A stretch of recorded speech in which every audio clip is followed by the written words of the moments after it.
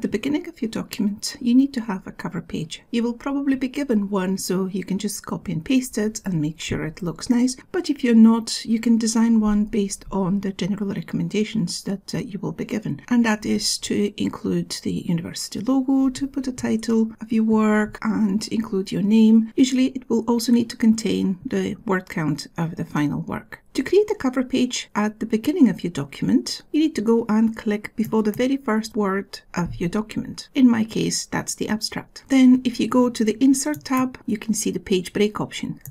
Page break will allow you to move everything after this position to a new page, which in my case means it's freeing up the first page of the document, and then I can use that to put the cover.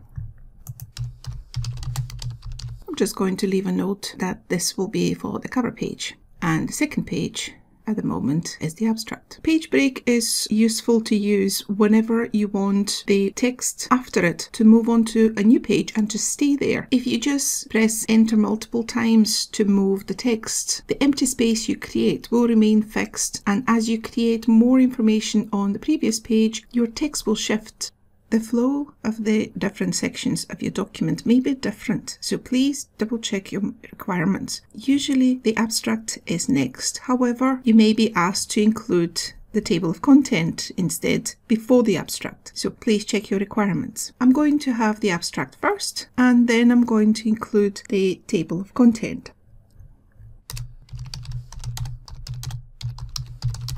Table of content is a heading. So I'm going to use heading 1 style and I'm just going to remove the numbering. So after adding the table of contents on a new line under it, I'm going to insert the table of content from the references tab click on table of contents and use custom table of contents because it gives you more control of what you want to include.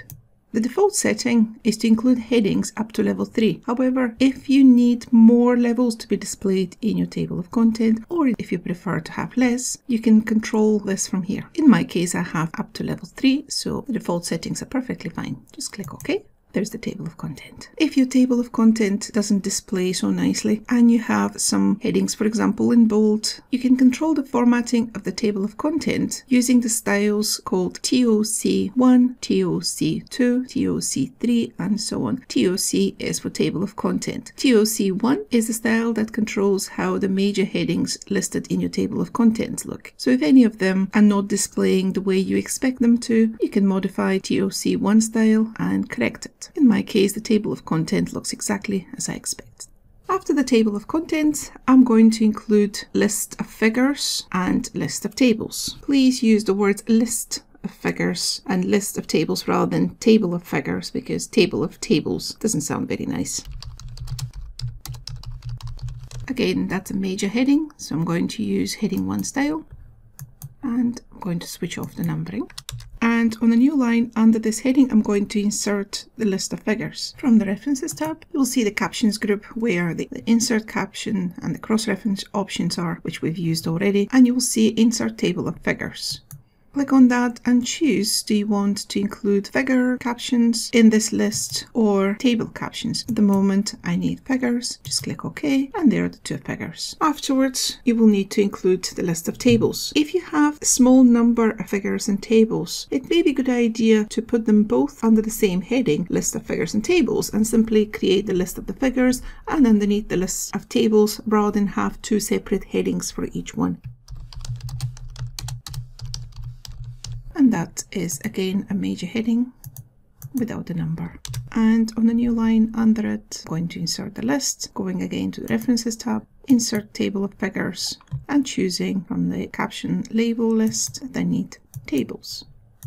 And there are the two tables. The computer created the table of content and the list of figures and the list of tables by scanning the document and identifying all the headings that are marked with the heading styles and all the captions that are automatically created. However, those lists will not automatically update. You will need to tell the computer to update them. The easiest way to do that is to select the entire document since there are a lot of other automatic features that you've used and it's a good idea to force the computer to update them as well. And then simply select the entire text of the document by either using the keyboard by pressing Ctrl A or from the Home tab, right at the end, there's an option to select all.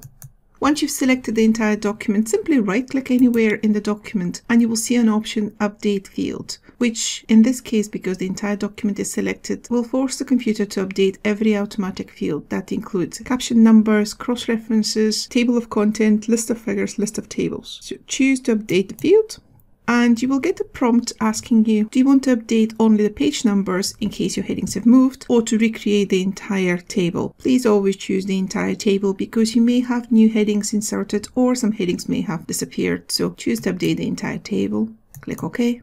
And then you'll be asked for the table of figures. Same question. Do you want just to update the page numbers or to update the entire table? I'm going to choose again to update the entire table for the same reasons and the same for the second list. In my case, that's the list of tables. Again, update the entire table, click OK.